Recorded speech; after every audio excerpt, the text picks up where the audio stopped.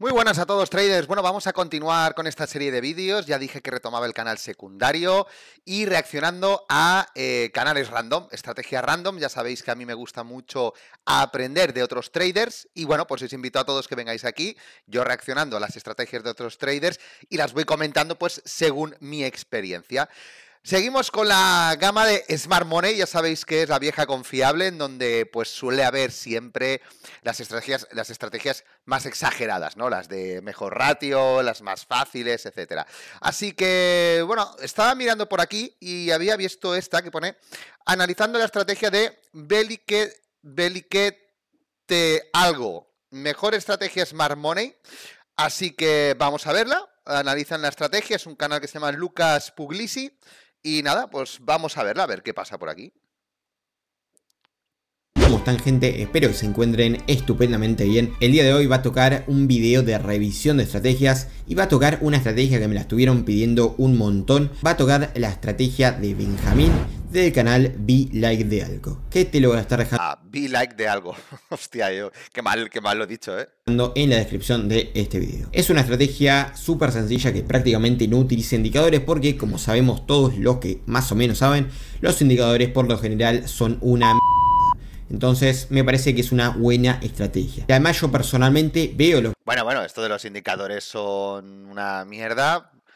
¿Será que no hay estrategias de trading algorítmico que usan estrategias y son rentables? Pero bueno, vamos a dejarlo aquí videos de Benja. Me parece que explica de una forma súper profesional, pero el día de hoy, en 4 minutos 42 segundos nada más, vamos a ver de qué se trata esta estrategia, así la vemos entre todos. Así que nada, me pongo los cascos y empezamos. Si quieres saber cuál es mi estrategia de trading rentable en solo 5 minutos, quédate porque lo vamos a ver. Bien, para entrar en mercado, yo lo único... O sea, aprender una estrategia en 5 minutos. Brutal, brutal. Aunque, si me lo puedes superar y son 3, mejor. mejor que 5, quiero aprenderlo en 3. Me, sobran 2. Que tengo en cuenta es el horario que sea entre las 2 de la mañana y las 5 de la mañana, horario Nueva York, ya que ya siempre estamos con el tema del horario. ¿eh? Recordar que últimamente está muy de moda las estrategias de horario, en donde tú operas mm, prácticamente una dos horas y dentro de este horario tú operas, según lo que vimos pues, ayer también. Y son estrategias que tú puedes operar siempre todos los días. ¿eh? Guay para los ludópatas que esta es la London Killzone. Importantísimo el horario, en nuestro caso, si son de Argentina, sería desde las 4 de la mañana, a partir de las 4 de la mañana ahora. Ahora que estamos en invierno, si es verano se adelanta una hora, serían las 5 de la mañana, pero eso es tema para otro video. Si no sabes los horarios de trading, anda a verte este video que ahí lo explico todo de manera súper detallada. Pero básicamente lo que tenés que entender es que la London Killzone, en mi caso que soy de Argentina, sería a partir de las 4 de la mañana. La apertura del mercado de Londres. Aquí es cuando estas tres horas hay muchísima volatilidad y muchísimo volumen. Y por eso elijo esta zona horaria. Después, lo que quiero que haya en el precio es una de estas tres cosas. Y si son las tres cosas a la vez, mejor. ¿Qué es lo que busco? Busco un imbalance, un sweep o mechas. Que haya un imbalance entre la primera y la tercera vela, que haya un sweep, una recogida de liquidez en el precio, o que haya una mecha sin mitigar, que haya una mecha de una vela especialmente más grande que el cuerpo de la vela y que esté sin mitigar. Si hay alguna de estas tres cosas en este tramo horario, yo miraré una confirmación y... Está lo del sweep es nuevo, tío, no lo sabía. Entonces el sweep es una neutralización, vale. Y que haya un imbalance, vale. Y que haya un wick, vale. Venga, Entraré a mercado. Vamos a por un ejemplo. No. Bueno, hasta ahora tenemos que operar en la apertura de la sesión de Londres. Como te dije, los horarios de las sesiones, por lo menos para Argentina, son básicamente estos. Tokio 21 a 6 de la mañana, Londres de 4 a 13 horas y Nueva York de 9 a 13 horas. Aproximadamente. Esto puede variar, como te digo, depende del país y depende de si es verano o si es invierno. Y las zonas de interés que él se fija son los imbalances, las zonas de liquidez como máximos y mínimos y las mechas. En mi caso yo también me fijo en los imbalances, también me fijo en la liquidez, pero las mechas ya no me fijo demasiado, sino que me fijo más en los order blocks. Los... Lo de la mecha también es, es nuevo, porque sabéis, bueno, siempre está el, o la neutralización, el fair value gap, el, el order block, el Fibonacci y ahora es la mecha también. Venga, vamos allá. Order blocks yo también los utilizo como zonas de interés. Vamos a seguir viendo a ver qué más nos cuente, cómo es ese ejemplo que nos da. Vamos a la temporalidad de 4 horas. Como podemos observar, el día anterior el precio liquidó los máximos y también el mínimo. Como ha liquidado... El día anterior liquidó los máximos y el mínimo. O sea, entendemos que esto de aquí, esto de aquí, fue neutralizado ayer.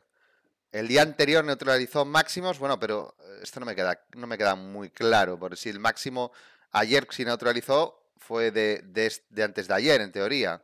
Porque si no, de, bueno, no lo acabo El mínimo, hace poco, el precio lo que va a hacer ahora mismo es ir alcista, ya que aquí hay muchísimo imbalance al que llegar y retroceder para... O sea, claro, el precio en el gráfico de 4 horas, es que no es poca cosa, o sea, la liquidez que hay en el gráfico superior de una temporalidad superior es muchísimo más fuerte que la liquidez que va a haber en un gráfico de una temporalidad muy, pero muy inferior. Por eso es muy, pero muy probable que cuando el precio agarra la liquidez de una temporalidad de un día, de 4 horas, de una hora, se vaya para el lado contrario de forma muy, pero muy fuerte. Coger todas esas órdenes. Entonces lo que estamos buscando son compras. Nos vamos a la temporalidad de una hora y vamos a marcar los posibles imbalances, los sweeps y las mechas que haya. Aquí, como podemos observar, hay cambio de temporalidad al día de una hora, cosa que está buenísimo porque analiza en macro y después va afinando en una temporalidad inferior o en varias temporalidades inferiores. Y un imbalance, ¿vale? Esta mechita de aquí no se toca con esta otra mecha de aquí. Por lo tanto, el precio probablemente vaya a ir a esta zona y de ahí poder seguir subiendo. Los imbalances, a conocer, actúan como un imán del precio. Si abajo, por ejemplo, hay un imbalance y arriba no hay ningún imbalance, es más probable de que el precio vaya hacia abajo porque ese imbalance es como si fuera un imán. Bien, como tenemos ese... Pero aquí había otro, ¿no? Aquí, aquí debajo tiene otro imbalance. ¿Vale? Aquí en, en, o sea, vale. Cuatro horas. Me bajo a 1H y busco los imbalance de 1H. En este caso, señalizo el último que ha dejado. Entiendo, porque debajo hay otro. Los imbalances, acuérdense, actúan como un imán del precio. Si abajo, por ejemplo, hay un imbalance y arriba no hay ningún imbalance, es más probable de que el precio vaya hacia abajo porque ese imbalance es como si fuera un imán. Bien, como tenemos ese imbalance marcado, vamos a dejar solo la mechita esta y vamos a ver en 15 minutos qué hay por debajo. Nos vamos a 15 minutos. Después bajo a 15 minutos. Y observamos que aquí tenemos un punto de liquidez. Esto es un mínimo. Por lo tanto, seguramente aquí haya mucho. Wow, ya me he perdido. Eh, cualquier mínimo, cualquier mínimo en 15 minutos. Muchísimo dinero debajo. Lo marcamos como liquidez. ¿Qué es lo que tenemos justo debajo de esa mechita? Pues lo que tenemos es una wick, una mecha, lo que hemos hablado.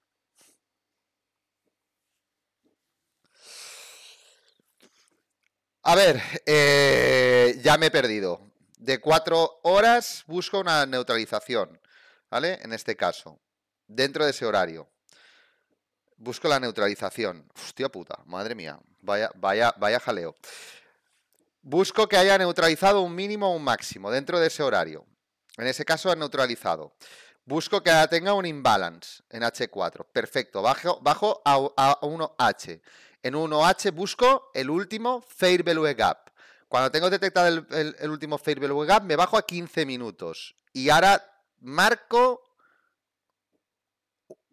un mínimo bajo, cualquiera, no sé, y una week. Vale. Lado anteriormente. Estamos en la temporalidad de 15 minutos, marcamos nuestra mecha y nos vamos a la temporalidad de 5 minutos. ¿Qué es lo que tenemos? Ahora en 5 minutos. Hostia puta. Temporalidad de 5 minutos, pues otra mechita. Bien, pues esperamos a que... La... Claro, es que si tú vas bajando donde había antes una, una mecha, luego si, si bajas será 1B, claro, es que... Ahora sea la correcta y esperamos una posible compra. Vale, vamos allá. El precio son las 2 de la mañana, ya estamos en nuestro tramo horario. Importante, jamás bajo ningún concepto ejecutar las posiciones fuera del horario que vos te programás el trading.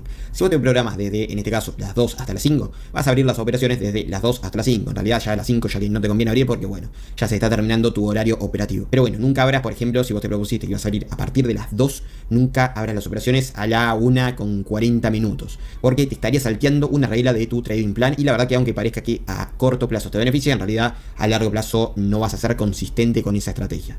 Precio se va acercando, ¡Bum! Llega a nuestra zona, que podríamos haber tenido aquí un limit, ¿vale? Y el próximo target sería este de aquí, este max.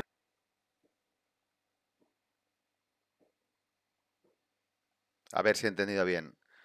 El precio llega a ese mínimo teórico que había liquidez, llega también a la mecha Y en ese caso, espero. Vale, ahora, es- ahora, ahora está ocurriendo todo, toda la, toda la mandanga. Vamos a ver. máximo de aquí. Este sería el siguiente punto de liquidez al que va a ir el precio. ¿Que queremos confirmar la entrada? Pues nos vamos a un minuto y vemos Madre mía, ya hemos bajado un minuto. Pues no hemos bajado, no hemos bajado todavía de temporalidades ni nada. Cómo el precio llega a esta zona y nos crea esta vela. Esta vela que es un martillo ascendente. La vela del tipo martillo, una de mis velas preferidas para operar, porque como te digo siempre en un montón de mis videos, es una vela que muestra muchísimo rechazo. ¿Vale? Lo que ponemos es, esperamos a un minuto a que toque la zona, vemos esta vela y cuando cierre la vela ponemos nuestra entrada en esta zona, nuestro stop loss por el mínimo con un stop loss de 3 pips y Entonces, la señal que es, o sea, espero que llegue, marco las zonas, llega a zona y cuando llega a zona espero una vela martillo. medio y ponemos el take profit arriba del... Lo voy a repetir porque no lo he entendido. ¿Vale? Lo que ponemos es, O sea, ¿cuál es la señal después de todo esto? Después bajar a un minuto. llega a esta zona y nos crea esta vela. Esta vela que es un martillo ascendente. Entonces tengo que buscar una vela martillo.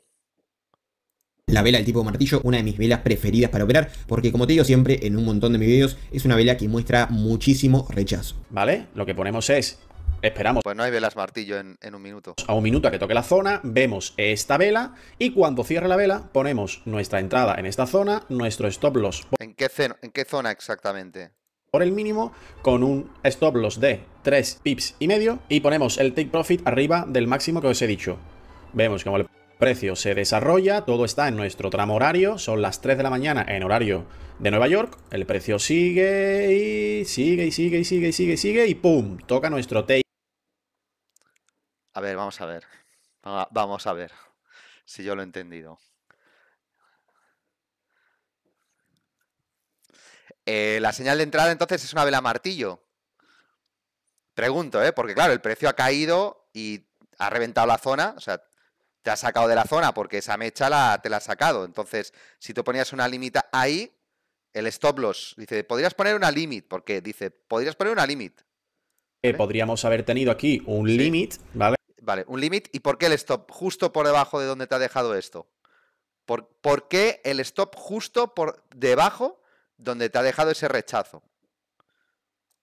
Y el próximo target sería Porque esto era una limit en teoría, pero ese stop ahí, justo ahí, vamos, te saca, te saca, te saca por spread, deslizamiento, cualquier cosa te hubiera sacado. Pero el stop, ¿por qué ahí?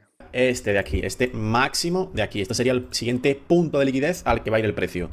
¿Que queremos confirmar la entrada? Pues nos va Vale, esto era con una limitada, es decir, recapitulamos, ¿vale? Para jugar con la limit, 4H tiene que hacer una neutralización, tiene que haber un fair gap para recuperar toda, toda esa ineficiencia, no liquidez, ineficiencia, que no es lo mismo. Eh, luego, dicho todo esto, tienes que esperar a que el precio ah, haga algo, porque una vez neutraliza, pues bueno, porque nosotros hemos atrapado este movimiento, o sea, hemos empezado, ha empezado aquí, este, ¿vale? No, no, o sea, ha sido aquí, ha sido muy random, ¿sabes? Bueno, todo esto y aquí empezamos a operar, pero ¿en qué punto empiezas a operar? Es decir, una vez neutraliza, ¿qué señal tenemos que esperar la siguiente? Porque claro, ahora estamos en el gráfico de 4H, pone aquí, de 4H, pero claro, estos son una, dos, tres, cuatro velas. Son cuatro velas que ya han avanzado desde que neutralizó esta vela. Una, dos, tres, cuatro. Cuatro velas que han avanzado. Entonces, aquí a mitad de esto, ¿qué cantidad de recorrido tengo que yo decir? Vale, pues eh, cuatro velas, o tres velas, o dos velas, o me hace un swing, un swing low. O sea, esto no está definido. O sea, hemos cogido este tramo que ya estaba desarrollado y hemos empezado de aquí a bajar a 1H.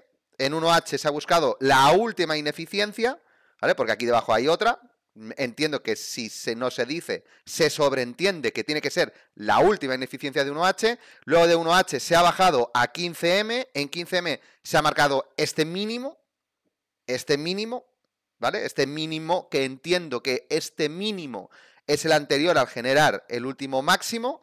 Pero lo de. Pero ¿por qué ese mínimo? Porque estaba cerca del fair val- fair value gap.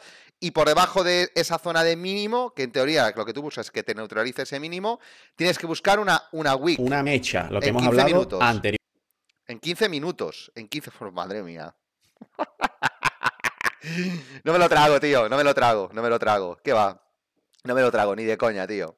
Y, de aquí, de 15 minutos, después de marcar el mínimo, el Fair Value Gap de 1H y luego de marcar la mecha de 15M, tengo que colocar una limit, ¿vale? Cocta y esperamos una posible compra. Una, vale, una posible.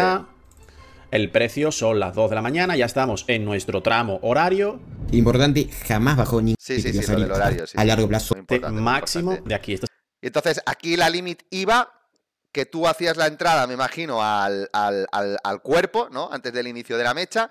El stop el stop sí que ya, esto ha sido sorprendente, porque este stop te hubiera sacado. O sea, si tú lo pones justo por debajo, ¿vale? Pero eh, la, la bueno, ponemos la limit, hubiéramos puesto la limit, pero es que no está bien definido esto. Madre mía.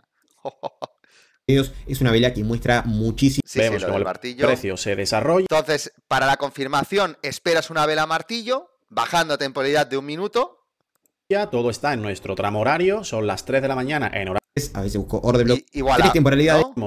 Igual. Y sigue y sigue y sigue y sigue y, sigue y pum, toca nuestro en 4 horas, me parece perfecto. El principio de interés y ya está. En el gráfico de un minuto y ahí sí de interés en mi estrategia y la realizar la operación. El indicador ahí sí. Y después el precio, esa mecha, la liquidez. Bueno, no hay nada más. Mecha, vale, esta es la estrategia. Vale, vamos a recapitular, ¿vale? Empecemos desde el principio, ¿vale? Porque yo hasta aquí todo empezaba muy bien en un gráfico de 4H, me gusta, buscas que te neutralice un máximo, un mínimo, ¿vale? Lo del día anterior no lo he entendido muy bien por qué venía al caso, si estamos en horario de Londres, entiendo que tú lo que estabas buscando es que en el horario de Londres se sobreentiende, porque como no se dice, se tiene que entender en base a lo que se ha dicho. En 4H neutraliza un mínimo, vale, pues a partir de, que neutraliza el mínimo tú tienes que estar empezando a buscar la entrada, entiendo, ¿vale? Entonces, en cuanto neutraliza tienes que bajar a una temporalidad de, una, de 1H, sí, ¿vale? Yo bajo a temporalidad de 1H, pero es que como he dicho, ya se ha desarrollado todo esto. Entonces, tú me has atrapado ese punto de ahí, ¿vale? No sé si es que cualquier punto es válido dentro de este tramo, que esto sería importante decirlo. Es decir, dentro de todo este, proceso que ya se está el precio yendo arriba, ¿cuántas velas consideras eh, confiables para decir, vale, em, puedo empezar a preparar mi operativa? Una, dos, tres, cuatro, en cuanto me, eh, me, me realizo un swing low. Vamos a entender, vamos a entender, siendo benévolo, que eh, en cualquier momento que a mí ya me haya formado, ¿no? Este swing low, una vela negra que neutraliza y luego dos blancas a la derecha, ya dentro de este proceso tengo que empezar a buscar este tipo de patrón, que es bajar en 1H, ¿vale? Independientemente, entiendo que será esto, ¿eh? Quiero, quiero entender, porque tampoco se dice.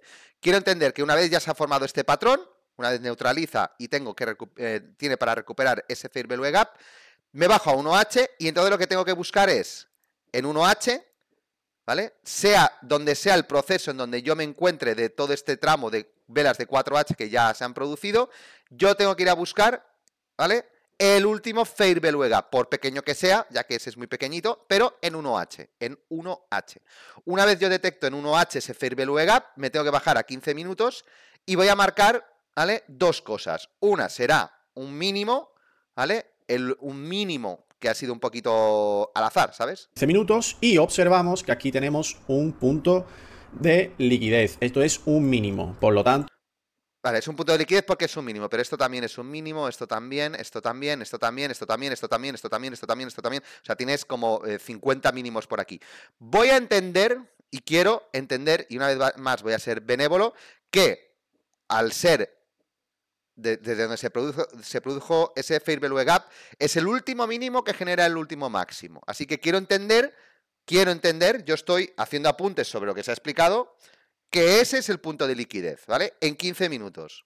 Seguramente aquí haya muchísimo dinero debajo. Lo marcamos como. A ver, tanto con muchísimo dinero, una vela de 15 minutos, lo dudo. Pero bueno, va, seguimos. Como liquidez. ¿Qué es lo que tenemos justo debajo de esa mechita? Pues lo que tenemos es una wick, una mecha, lo que hemos hablado si no hay wick, si no hay mecha, ¿a dónde me acojo? O sea, tengo que coger una wick, sí o sí. Sí o sí eh, tiene que ser la wick más inmediata que encuentre, ¿vale? Pero siempre ha dicho que tiene que ser una wick más larga que el resto del cuerpo. Esta no es más larga, es simplemente una, una pequeña mecha que puede dejar cualquier tipo de vela anteriormente. Estamos en la temporalidad de 15 minutos, marcamos nuestra mecha y nos vamos a la temporalidad de 5 minutos. Y ahora bajo 5 minutos. Una vez marcado todo esto, eh, lo buscas en 15 y en 5 es donde vas a buscar la operación. es lo que tenemos en la temporalidad de 5 minutos? Pues otra mechita. Bien, pues esperamos. No, es, la misma mecha.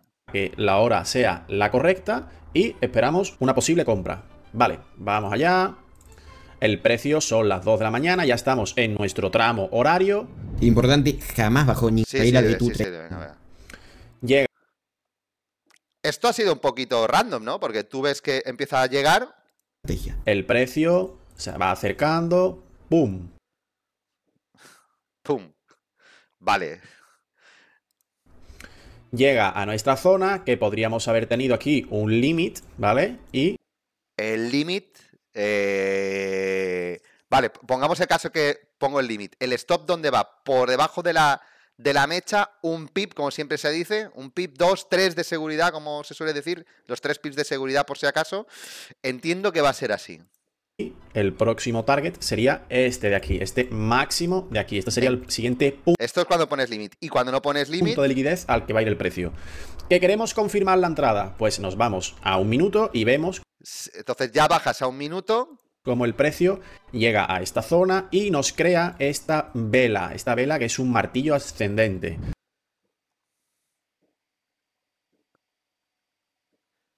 Entonces la señal sería una vela de martillo, en este caso, ¿vale? Y la entrada... La vela del tipo martillo, una de mis velas preferidas para operar, porque como te digo siempre en un montón de mis videos, es una vela que muestra muchísimo rechazo. ¿Vale? Lo que ponemos es Esperamos a un minuto a que toque la zona, vemos esta vela y... Esperamos a que un minuto toque la zona, pero que la zona dónde está, porque le has puesto aquí la entrada un poco random. O sea, no... Cuando cierra la vela, ponemos nuestra entrada en esta zona, que se acerque la vela y cuando cierra la vela... Nuestro stop loss por el mínimo con un stop loss de 3 pips y medio y ponemos... Lógicamente suena muy bien, 3 pips y medio. El take profit arriba del máximo que os he dicho. Vemos como el precio se desarrolla pero. Pero la, pero, pero la, no, toca la entrada, Todo está en nuestro tramo horario, son las 3 de la mañana en horario de Nueva York, el precio sigue y... Bueno, cracks, amigos, eh, esta es la estrategia de... Vale, pues, ¿qué quieres que te diga? Que no me la creo, o sea, es que ni de coña. Se tienen que juntar tantos factores, tantos factores para que te dé esto, y explicado de una forma tan ambigua, tan ambigua, o sea, es decir, hasta el punto en que me dices que en un gráfico de 4H buscas una neutralización de un máximo mínimo, hasta aquí lo he entendido. Venga, lo puedo entender.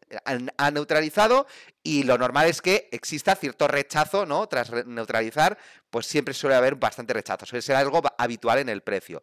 Pero luego, ¿de cuánto recorrido tengo que esperar para empezar a buscar órdenes? Se omite, ¿vale? Se ha cogido un tramo random y ha dicho, mira, aquí, aquí, justo aquí, donde hay un fair value gap, pues te bajas a 1A, a 1H, buscas el fair value gap, en 15 minutos buscas un punto de liquidez, punto de liquidez, ya sabéis que hoy en día en el Smart Money la liquidez es eh, cualquier cosa, ¿sabes? Cualquier cosa. Este mínimo, ah, pues mira, si no era este, pues ese, no, si no era este, este es mejor. ¿Por qué? Porque lo digo yo. Y entonces buscas la mecha como punto de entrada, ¿vale? El punto de liquidez sería, en teoría, la gasolina, ¿vale? Porque hay mucho dinero, en gráfico de 15 minutos. Ese, ese, punto en concreto, ¿vale? Y luego la mecha sería el punto de entrada. Puedes poner la limit, el stop los va un poquito a tu bola. Eh, sí que está claro el TP hasta el siguiente máximo, en este caso si buscas compras. No hay vallas, es una estrategia sin vallas, por lo que, por lo que, lo que detecto, simplemente es esto. Y eh, si no lo haces por limitada, lo haces bajo confirmación y para la confirmación tienes que esperar una vela martillo. Para que se te dé todo esto y maniobrar en gráficos de 4H, bajar 1H, bajar a 15, bajar a 1, y para maniobrar toda esta historia, solo te va a salir bien haciendo un backtest en TradingView, de para adelante y para atrás. Solo te va a salir bien ahí, para que se dé todo este juego. Para mí, desde luego, es una vez más una estrategia más de horario, de flipado, de flipado de la vida, en donde te dice que te voy a, te va, puedes hacer o por limitada o por confirmación, todo es muy ambiguo y todo son 50.000 conceptos que todo esto para que se conjugue eh, tiene que darte un eclipse con el cometa Halley que pasa cada 50 años por la Tierra. Te lo digo así de claro. O sea, es una estrategia para, desde mi punto de, vista, mm, que, vamos, para que se presente esto, en el momento que, tú buscas, ya te digo, cada 50 años con el cometa Halley. Y luego, para que esto, esto acabe funcionando, porque sí, no tengo los, los datos, pero me extrañaría mucho que después de esperar tantos factores, esto te acabe funcionando, porque hay muchísima ambigüedad en todo, en, desde en el punto en que tengo que empezar a trabajar, en el punto de entrada, en la limit, en, en tantos conceptos es tan ambiguo que es imposible parametrizar esto y decir, voy a parametrizar esta estrategia para cada vez que suceda esto, me active un robot y me empiece a funcionar de esta forma. Es imposible, es todo súper ambiguo. O sea, es, imposible. O sea, realmente para mí, desde mi punto de vista, esta estrategia eh, no me creo en nada que esto funcione. Es más, de hecho, me atrevo a decir que es una estrategia más de contenido sacado a la babala para que tú veas un contenido y que, y que digas que wow, qué estrategia que puedo utilizar todos los días y que es súper efectiva y me da un ratio muy bueno porque eh, utilizo tres pips de stop loss. Y como este tipo de estrategias hay 50.000. Así que creo que pasa a ser una estrategia de estas del montón que uno se inventa y que ha tirado para adelante y para atrás con TradingView, te ha ido nombrando conceptos del Smart Money y ha quedado una entrada bonita. Esto sería mi conclusión final. Así que traders, para mí, desde luego, esta estrategia ni la probaría, ni haría backtest, ni me perdería ni un solo minuto de mi tiempo en, trabajarla. Ahora, ¿qué, ¿en dónde yo quizás sí que trabajaría? en estrategias de neutralización de máximos y mínimos, como hemos visto en 4H. ¿Por qué? Porque en 4H sí que es, bien, es, verdad que los máximos y mínimos de 4H concentran bastante liquidez porque sacan bastantes stop loss y a partir de ahí desarrollar algo pero muy concreto, ¿vale? Es decir, ¿en qué momento cuando se desarrolla esto, en qué momento del desarrollo, una vez, eh, neutraliza, empiezo a trabajarlo? Cuando neutraliza el mínimo, cuando me hace un swing low, cuando yo detecto una ineficiencia, que se genera una ineficiencia en 1H, estas son cosas que hay que definir muy claras. Entonces, para que la estrategia funcione, ¿vale? Empecemos por aquí. Primer punto, neutralización en 4H. Segundo, ¿en qué momento empiezo a valorar, a, tener la señal de que debo empezar a buscar un patrón de entrada?